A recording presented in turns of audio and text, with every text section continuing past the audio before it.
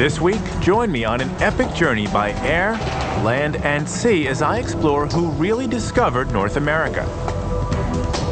I'm going to follow the legend of two Viking explorers, Eric the Red and Leif the Lucky.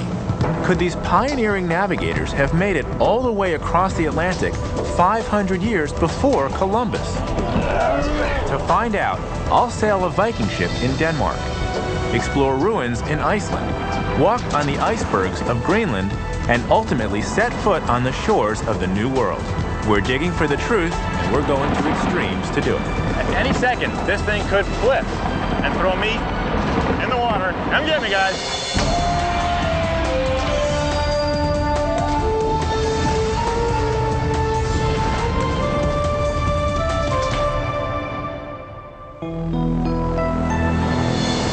Hi, I'm Josh Bernstein. According to the Viking sagas, it took Eric the Red and his son, Leif the Lucky, almost a lifetime to cross the Atlantic. Well, I don't have that kind of time, but my goal is to follow their trail and see what their epic journey might have been like. The Irish, the Welsh, and even the Chinese claim to have discovered America first. But the Vikings' claim is the most compelling. The Icelandic sagas recount the adventures of Viking explorers who, in their quest to exploit new lands, pushed farther west from their homelands of Scandinavia. Iceland was settled first in 860 AD, but after a hundred years, most of the decent land was taken. Pushing even farther west, they discovered and settled a massive icy island they named Greenland. It's at this point that the Viking legends then make an extraordinary assertion a Viking sailor named Leif the Lucky set out onto the treacherous waters of the North Atlantic and reached the American continent 500 years before Columbus. But could this legend really be true?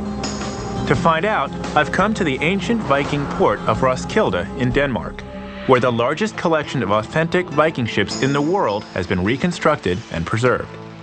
What I've come to find out is did the Vikings have boats capable of crossing the open oceans? Marine archaeologist Anton Englert is going to show me the collection. This is a real Viking ship. Yes, it is. Where'd you get it? Well, it was excavated uh, 20 kilometers north of here, mm-hmm. um, half down the Roskilde Fjord. That's incredible. And do you have a date for when this ship was made? Well, uh, this ship in particular was built in the 1030s, and uh, the other ships were from the same period. We have reconstructed time by the time over 21 years all uh, five ships. So we have them now just sailing out there. The reconstruction of this original. There's no guesswork in the replicas here. These ships sank and were protected over time by the deep mud at the bottom of the fjord. In fact, the ships were so well preserved, they enabled the team here to build the exact replicas they sail today. I'm going to meet Gunnar Eggertsson, Viking ship captain extraordinaire. He can show me how the Vikings constructed ships capable of crossing the Atlantic Ocean. Nice to meet you. Same to you. They were able to row as fast as uh, at least eight knots. It's even creating air bubbles in the front to make it smoother through the waterline. They were surfing, more or less. Gunnar shows me that this boat was designed to flex with the waves. But this longship, the same type of ship that terrorized the coasts of Northern Europe, would have broken into pieces if they tried to cross the Atlantic in it. That's why the Vikings designed a totally different ship for long voyages, like this one. So this is the cargo ship you were talking about. This is the cargo ship, yes. How would this ship compare at sea against the longship? Why don't you find out? We are going to sail her. Gunnar is no stranger to sailing Viking ships. In 2000, he built this replica. Exactly 1,000 years after the Viking legends claim Leif the Lucky made the voyage, Gunnar sailed his ship from Iceland to North America. His 2,600 mile journey proved that Viking ships could cross the Atlantic. What can I do next? This ship, constructed from Norwegian pine, is as authentic as the vessel Gunnar built. Its sail was made using exactly the same technique the Vikings used. Square panels of woven wool were stitched together and treated with a tar-like resin. It covers an area of almost 1,000 square feet and weighs over half a ton. Life on a Viking vessel was physically demanding. This winch was the only mechanical aid on board. Got it. brute strength was mandatory. There she is. So is there any difference between what we just did and what the Vikings would have been doing a thousand years ago? No, Same thing. same thing. Same sail, same ship, same movements. Yes. With a good wind, this ocean-going trading ship could reach 13 knots, about 15 miles per hour. It was designed to carry up to 24 tons of cargo, but only needed a crew of eight. But Gunnar is more than just an accomplished sailor of Viking ships. Amazingly, a few years ago, he learned that he is directly related to Eric the Red and Leif Erikson. Uh, Leif Eriksson's uh, grandfather was my great, great, great, great 30 times grandfather. That's a lot of greats. yes. So you have records that go all the yeah, way back to all the way back. AD. All the way back. We are going to tack into the wind. At the time of the Vikings, tacking into the wind was a revolutionary development. They had to rotate the sail and make a series of turns in a zigzag pattern. Although this was hard work, it enabled them to make headway even if the wind was blowing directly towards them. And pull in the bow line. So the wind is coming at us this way. Yeah, we are about 45 degrees of wind. Isn't that one of the great things about Viking ships that they could actually sail into the wind? Right. Yes. And other ships at the time couldn't. But they were the only one on the oceans who who could, and uh, almost the only one who were sailing across the ocean at that time.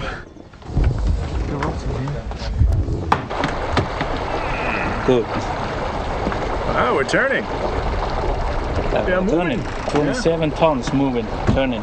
You're turning 27 tons now. like the way Around. that feels. Viking ships were more than capable of sailing the open ocean. Still, it took more than simple courage to leave home and set off into the unknown. They must have had some real motivation. These ships offered little protection from the fierce Atlantic weather. What is it about the culture at this time that's that's leading them to go on these journeys to explore new lands? They found it uh, maybe a little bit too crowded in Norway and uh, because of high taxes over there. Everybody wanted to, to move to Iceland. Uh, uh, during 60 years, Yeah. there were 30,000 people in Iceland who moved by Viking ships. 30,000 30,000 people. went on ships like this. Yes. We don't know how many ships made the voyage from Scandinavia to Iceland, but to transport 30,000 people, there must have been dozens of vessels making the journey. The Vikings tried to stay within sight of land, but to cross the Atlantic, they had to leave the safety of the shores and maintain a bearing across miles of open sea. Gunnar tells me that the magnetic compass wasn't introduced into Europe for another 200 years. So how did they do it? I put the question to Gunnar. How would the Vikings navigate if they were going to areas that they didn't know? Uh, they were using the whole environment, you know, uh, birds, uh, whales, uh, clouds, currents, wind, uh, stars, moon. Gunnar's talking from experience.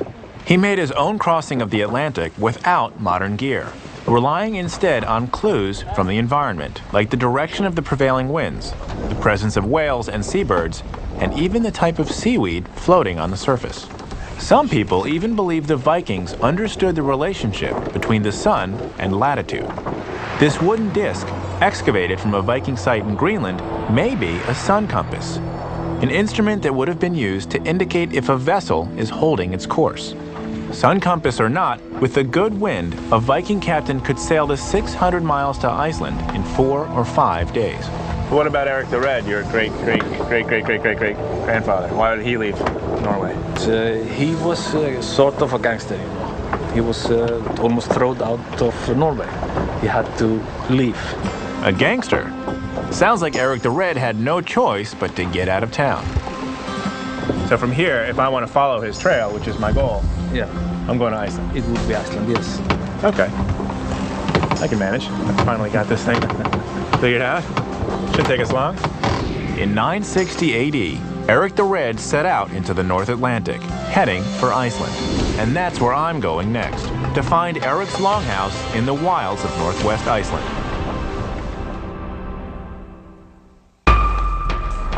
I'm following the trail of Viking sailor Eric the Red, who left his Scandinavian homeland and pioneered a route across the Atlantic 1,000 years ago, 500 years before Columbus.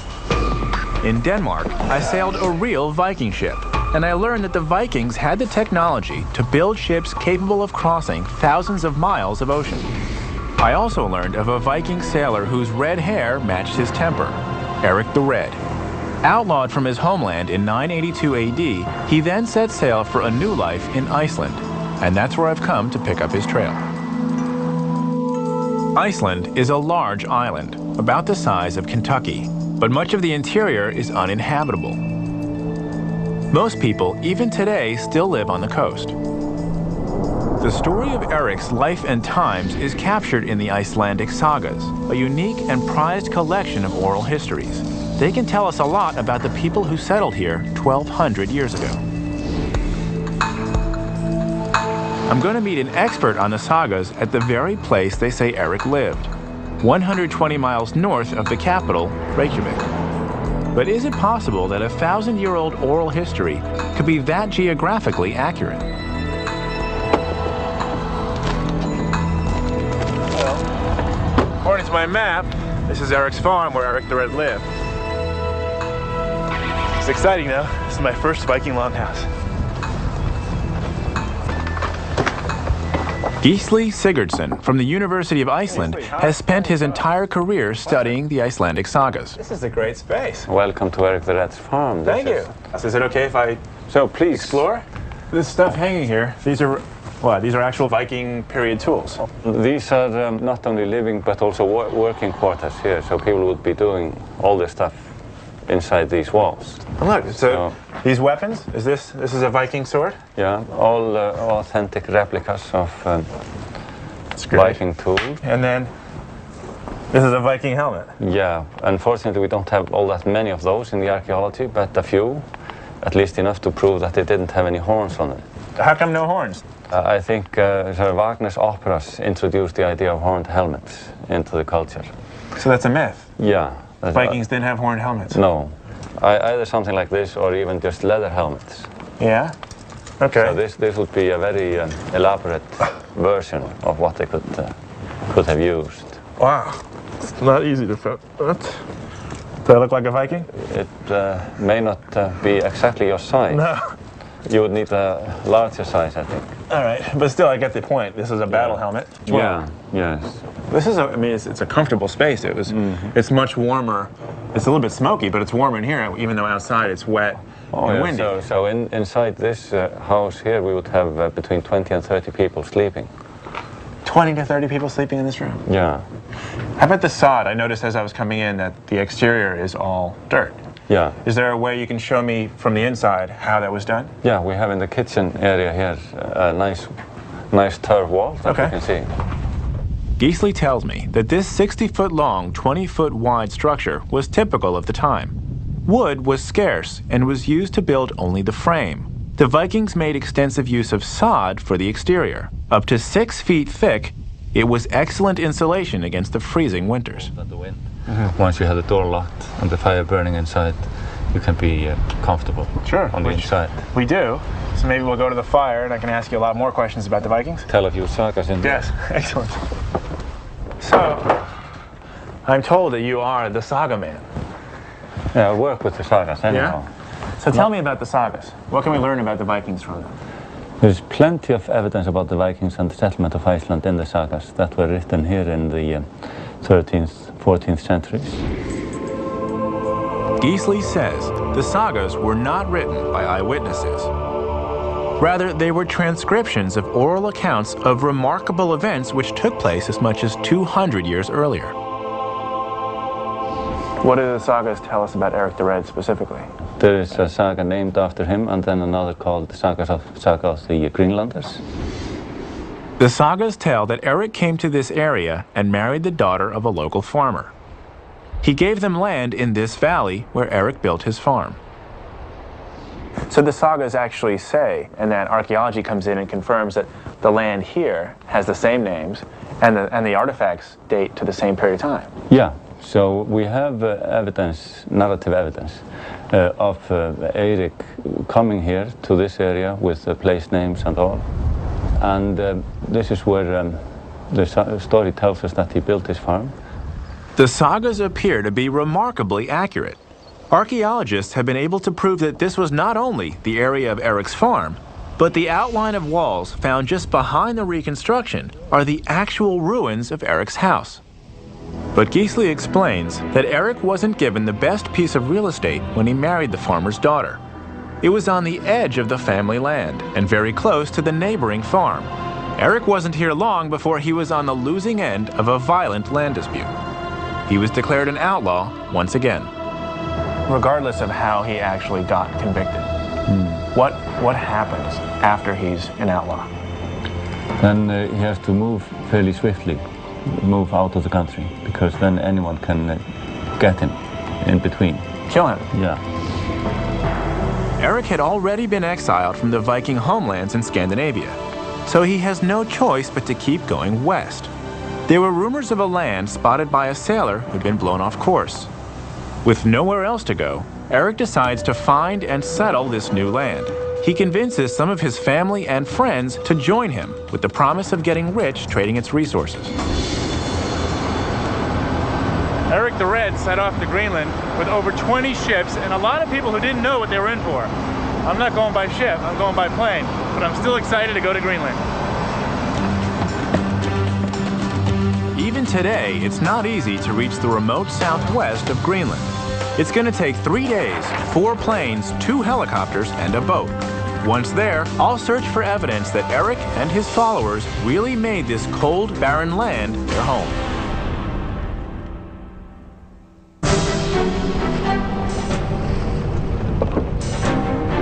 I'm following the trail of Viking sailor Eric the Red, a man who seemed to have a knack for getting himself thrown out of town.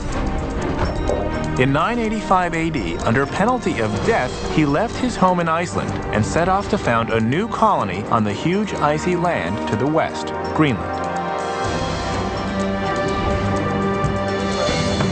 Today, even with airplanes, getting to southern Greenland isn't much easier. The first step is a three hour flight to Kulusuk on the eastern side of the country. From the relative warmth and safety of the plane, I can't help but notice a very cold looking sea filled with icebergs below. Eric's journey must have been treacherous, requiring a mixture of determination, skill, and luck. Only 14 of the 25 ships that left with Eric made it. The rest either turned back or were lost at sea. As I approach Greenland, I'm really excited. It's one of those places you never think you'll actually visit.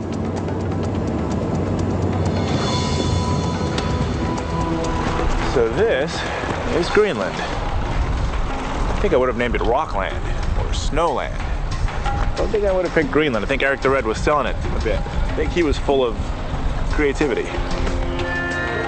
But this place is nowhere near my destination. There's still well over 1,000 miles of snow and ice to cross. This tiny airport is a mere stepping stone to the more populated west coast of Greenland. I've flown from Reykjavik to Kulusuk. Now, my goal is to fly, skirting the Arctic Circle, to Nuuk, the capital. Then I'll catch another plane to where Eric the Red settled in the south. But wait, there's more. A lot more. Greenland is huge. It's over 860,000 square miles. That's more than three times the size of Texas. And all this land is inhabited by only 55,000 people. But it's down here where the Vikings settled. Why? That's what I'm going to find out when I get there. As soon as we take off, we're over the glacier and ice fields which cover the majority of this huge island. If all the ice here melted, sea levels worldwide would rise almost 20 feet. After another three hours, ice gives way to rock, and I reach Nuuk, the capital. After a brief stopover, it's onto an even smaller plane to the south. But now I have company. And I'm now checking in for the flight to Sarswak. And the expert joining me for this leg, Carolina Paulson. And we're heading down there to look at Eric the Red settlement. Carolina moved here from Denmark to study the Viking settlements, and she's going to be my guide in Greenland. We've got this tiny plane to ourselves for our flight down south. From Nuuk, we're flying 400 miles to Narsarsuaq, the area Eric chose to settle. As we approach our destination, Carolina points out that the area we're flying over is called Eriksfjord. This is the land that Eric and his followers first settled in Greenland. You see, it's so much greener here. The land looks a lot more fertile. So Greenland is green. Yeah, can be, can Yeah. be. That was great. Oh, look, we went from the big plane to get to Nuuk, and now the little tiny plane to get here. And then to a helicopter, No, really? yeah? to Qaqortoq. Well, why not? One more to go. Oh, it's not just a helicopter. it's just the Sikorsky. We're almost there. Only one more helicopter to go. But the journey has been worth it. The landscape is amazing. But even today, this is a challenging place to live. There are no roads or railways. The only way to get between most of the isolated settlements is to fly. We're finally getting close.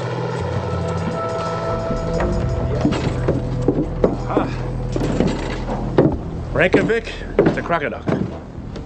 Four airplanes, two helicopters, and we're here. Piece of cake. After 12 hours of traveling from Iceland, we're finally in the area the Viking settlers called home. But the best preserved evidence of their lives is still a boat ride and hike away. Good morning. We had a great night in Qaqortoq. Qaqortoq. Qaqortoq. Yeah, And now we're off to see the Norse settlements in the area. which is actually that way in the bottom of the fjord. Which are that way, That way. but we're going this way to see that. My first iceberg. That is cool. Seeing an iceberg for the first time is an awesome experience. The beauty of the deep blue ice has to be seen to be believed. After our short detour, it's back on the trail. Hvalsey, the place we're heading, is a two day hike from the nearest settlement, so tonight we're going to be camping out. We're taking a boat part of the way, but we still have a long trek ahead of us.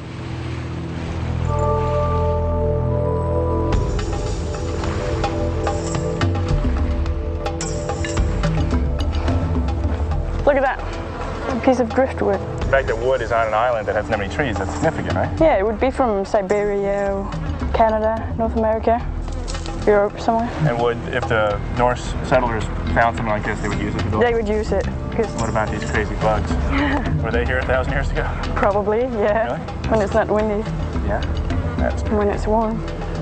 Yeah. Let me help you out there.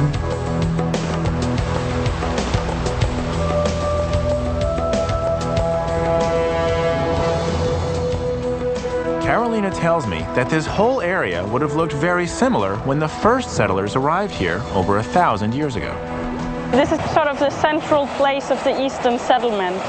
It's a rather large settlement there, and you can actually see the home, the buildings. So get to it. That's Although this land is green and lush, there was still not that much flat land to raise the animals they brought from Iceland. They had to select their site carefully. this. So that's it out there. The flatland there. Where that ridge comes down to the Yeah. fjord. You see, It's perfect for farming down there. Had a preference of living in. It takes us another three hours to get down to the ruins. As we walk, Carolina tells me that there are Viking sites scattered throughout this area. But the place she's taking me to is the latest and best preserved. She's involved in ongoing archaeological work to learn more about their lives here and why they mysteriously disappeared. So these are the rooms here. Yep. What was each room used for? That's different purposes. Um, like one for sleeping, one for cooking. But this was all one family. Yes. It's a big place. It's a very big place. this site and several others have been excavated, and we have a fairly good idea about the settlers' lives. They had cattle for dairy products and sheep for wool.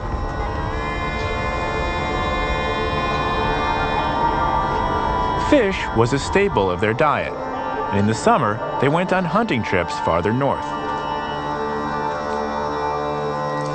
Carolina wanted me to see this site not only because it is so well preserved, but because it was Eric the Red who first discovered it. Ultimately, he chose to live somewhere else, and he gave this land to his cousin. That hole up there, that indicates that this place was rather important. Only three farms in Greenland has a, a hole like that. So it definitely indicates that this person here was Rich. rich. Yeah. And so does a church over there. Hvalsey Church is one of the best preserved Viking buildings anywhere. It was built when Christian missionaries came to Greenland from Scandinavia in the 12th century, 200 years after Eric and the first settlers arrived. Great stonework. Yep. You see, the inside of the church, it's not as smooth as the outside. Oh, it's better out here, huh? Yeah, it's better outside. It actually is. Yeah. So they didn't have to have as, as good craftsmanship in here. Okay. Right. That over there, the altar would have been under that window. Mm-hmm. You see the window with the arch in it. Sort of really copies the European style. Just that this is made with arch-shaped stone, so it would have been very difficult to make it. You said that was over the altar. Yeah. Is this place still considered an active church? Yeah, you can get married and baptized and stuff like that. Really? Yeah. Probably take this off. Yeah. Okay. Sorry about that. Carolina tells me that the last record of a Viking event on Greenland was a wedding in this very church in 1408, just before the colonists mysteriously disappeared. No one knows for sure why the settlement was abandoned, but Carolina has some theories. In the western. So this here is basically the last holdout. yeah. Any idea what led to their decline? Climate changes, um, difficulties to import things, um, no boats coming here from Europe, and nothing to trade with. But going back to then to Eric the Red and the time I'm focusing on, from here, Eric, who had scattered all this land, he actually picked an even more beautiful place. Yeah, he did. Right? Well, That's where we're gonna go. Yep. After we go have dinner and, and sleep here for the night? Yeah. Okay, Let's do that. let's do it. Archaeologists continue to debate the exact reason why the Viking settlement on Greenland was abandoned. But there's no doubt about where Eric the Red established his settlement 400 years before. And it's this place and period that's at the heart of my quest. Now we are uh, enjoying nighttime because it's well after 11 o'clock and it's still bright, and that's normal? Yeah. Yeah, Sun doesn't set. not this time of year. Nope. So this is dark, and we're having our campfire, and then we're gonna go sleep. And tomorrow, see where Eric the Red actually settled. And I've heard it's the prime real estate of the area. It is. We're just gonna wait for the fire to die down a bit, and then call it a night. Pick it up tomorrow. In the morning, we'll see just how treacherous navigating Greenland's waters can be. And learn how Eric's son Leif embarked on the most dangerous section of the Atlantic crossing.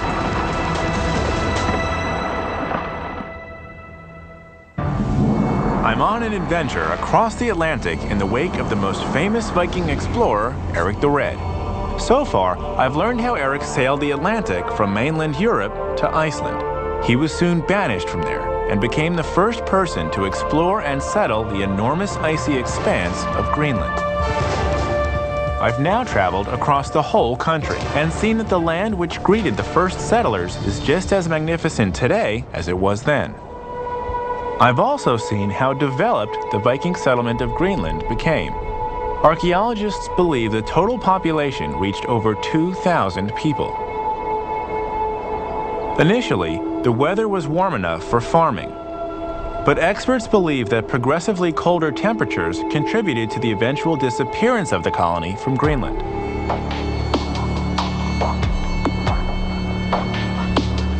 Couldn't ask for a more beautiful morning. We know from the Greenland sagas that about 450 people made this area their home. We even know where Eric the Red himself lived, and that's where we're going next. Time to hit the trail. The area that Eric chose for his home is 20 miles from where we camped. He settled in the next fjord, which now bears his name. As we hike, Carolina tells me that it wasn't until the early 20th century that archaeologists discovered the Viking settlements. So this is Eric's fjord here. This is awesome. Look at all these icebergs. Yeah. As the icebergs drift out to sea, they melt and break up. The explosive cracking can be heard throughout the fjord. That's like the coolest thing I've ever seen. Eric the Red's farm is at the far end of the fjord, and we've still got to get past hundreds of these icebergs. This really is one of the most beautiful places I've ever been. But we have to remember that to the first settlers, this must also have been a very lonely and forbidding place. And in the winter, it's a tough place to survive, even today. Look at that seal. He's just basking in the sunlight. Can't blame him. The Vikings hunted seals, walrus, and narwhal, not only for food, but for trade. Their fur and hides and the narwhal's ivory tusk were highly prized back home. But when elephant ivory was introduced to Europe, the demand for the Vikings' ivory decreased, and with it, a vital source of income was lost. That was pretty cool, though. We're that close. That close. These icebergs may look beautiful to you and me, but to the 24 ships that set off with Eric to cross from Iceland to Greenland, they would have been a real danger. Still, I can't resist the temptation to get closer. I asked the captain if I can walk on one of these unstable chunks of ice. He says he'll try to find one flat enough for me to stand on, but cautions me that if I fall into the water, I'd only have a few minutes to get back on the ship before I freeze. You don't even have to be very close. Icebergs can implode or capsize at any time, sending huge blocks of ice flying. Oh, back, back, back, back. This is a relatively small one. But as we touch the berg, I'm having second thoughts about getting on it. But here I go.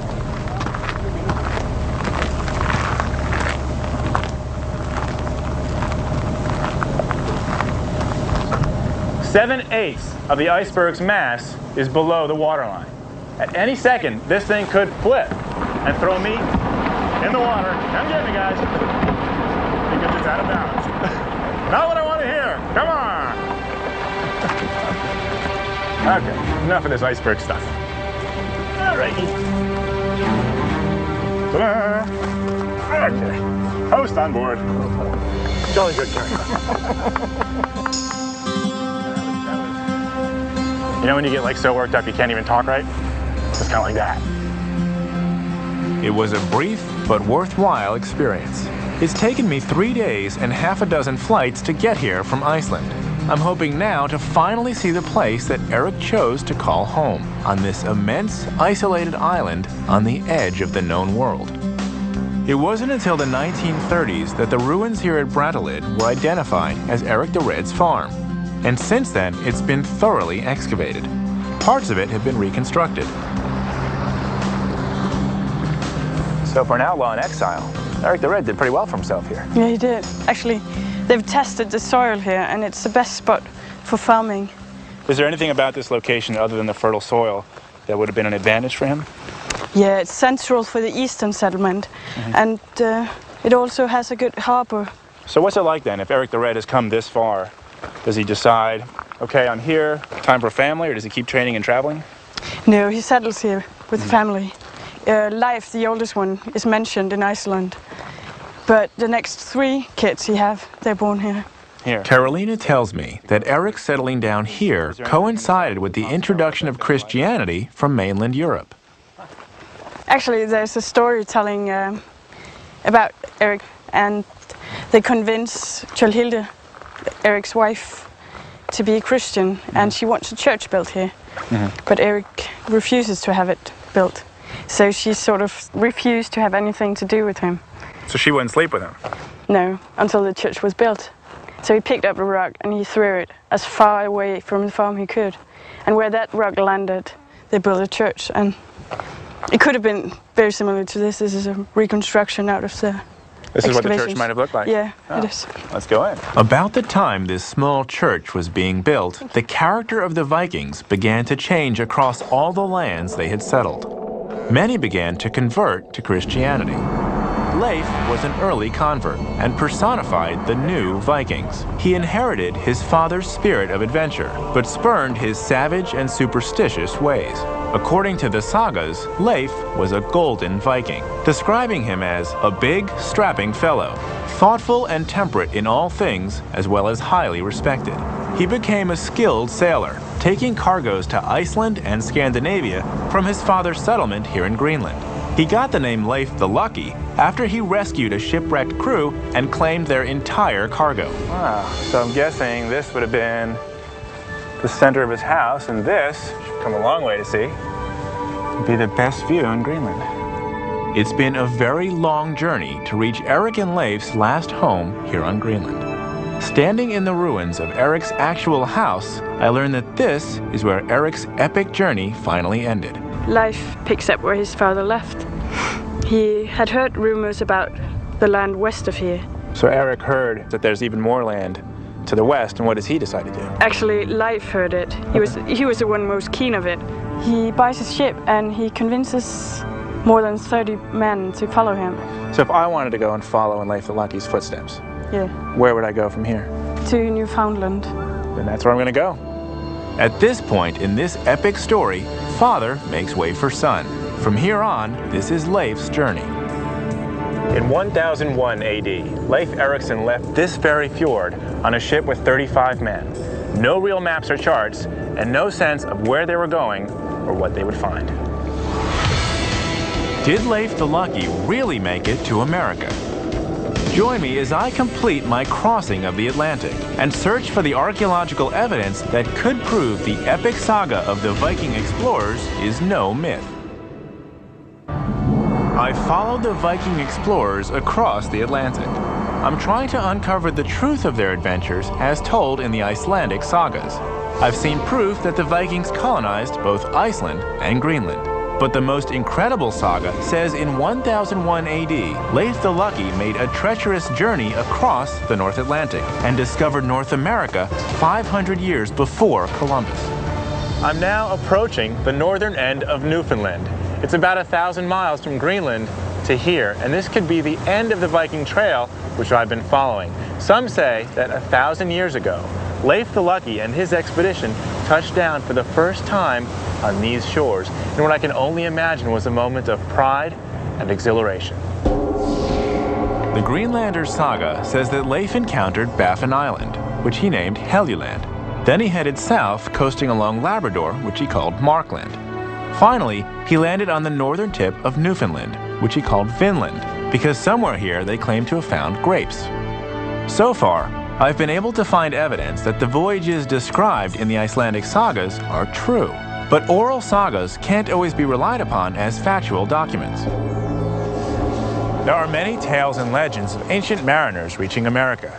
The Welsh, the Irish, even the Chinese all claim to have gotten here first.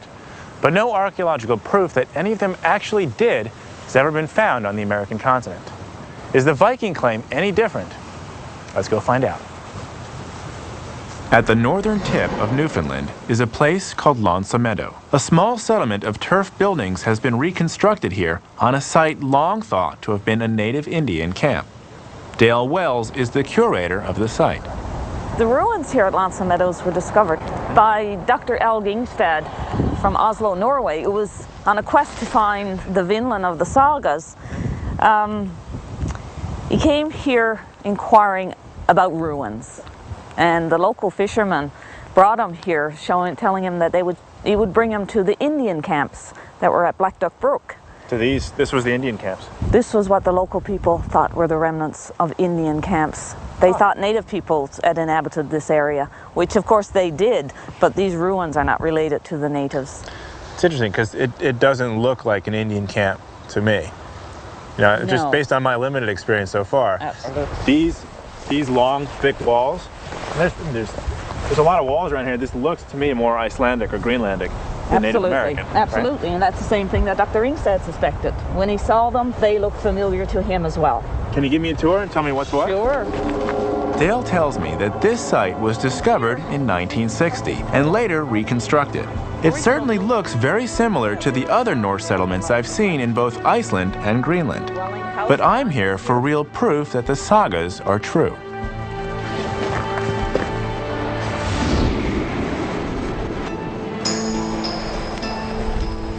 From the archaeological evidence, the carbon 14 datings that have been done on the materials that were taken from this site, it dates back approximately a thousand years. So this would be, according to the sagas, the same time that Leif the Lucky is actually coming here. That's right. The, according to the sagas, the Vinland voyages would have began about the year 998, the year 1000, in that vicinity. And this site does date back to approximately the same period. What kind of evidence is being dated? Uh, a lot of the wooden artifacts that were retrieved from the site, uh, materials dealing with ship repair, charcoal that was used in the uh, production of iron here. So they actually had iron here? It's the first place in North America that any ironworks are known to have taken place. And they smelted it in a furnace to produce good workable iron, which here at L'Anse aux Meadows was used to produce rivets or nails for ship repair. And the Native American cultures, we know, were not doing any kind of ironwork at this time. Absolutely not. So no. this, this again speaks This- to the relationship between this place and other Norse villages. That's right. That's okay, right. so the dimensions of this space, the fact that there's iron here, both say Norse. What else? There were a number of artifacts found here that relate directly to the Norse culture. Uh, for example, they found a bronze ring-headed pin, which was used as a cloak pin to hold the cloak over the shoulder. Um, they also found a spindle whorl, a little round soapstone object that was used at the end of a drop spindle for spinning wool into yarn. Okay, another Norse or Icelandic. Another Norse or Icelandic object. But it wasn't until after the archaeological work was completed, of course, the evidence was there. The archaeological evidence proves that Vikings lived here at the very northeast of the American continent, now part of Canada. But did they explore farther south in what's now the United States? Archaeologists have looked for other Viking settlements and found nothing. The proof that they explored farther south came from an amazing piece of archaeological detective work. The butternut tree grows in the northern United States and southern Canada. It's never grown as far north as the Viking camp at L'Anse aux Meadows. We found butternuts on the archaeological site, on the Norse layer. And these don't grow around here. No, They never have. they never have. So someone went a long ways to gather this, and then somehow it fell. Archaeologists are convinced that these butternuts were brought here by the Vikings. They were excavated from the same level as the Viking ruins, and there's no evidence that the Vikings were trading with the natives at the time. So if this is their base camp and they're using this spot to explore the region, how far are they traveling? Well, well, they went well into the Gulf of St. Lawrence region, at least as far south as New Brunswick. The butternut proves that they explored well into southern Canada and probably into the northern United States. We also know from the archaeology that the Vikings stayed here for only two or three years. But why? The materials that they were taking back with them to Greenland was already available to them through tra- trade routes with Europe. Um, this is a long way for them to go. So it may not have been worth their effort to continue to come here. The Vikings certainly had the technology and the courage to reach North America. But 1,000 years ago, it seemed to them that there was nothing here which they couldn't get at home. And so they left. Any sign that they were ever here soon disappeared for almost a thousand years. In fact, if Eric the Red and Leif the Lucky's tales had not been recorded in the Viking sagas, archaeologists would have never known to look for them on the American continent. But today, the evidence is undeniable. A Viking ship explored the coastline of North America 500 years before Christopher Columbus.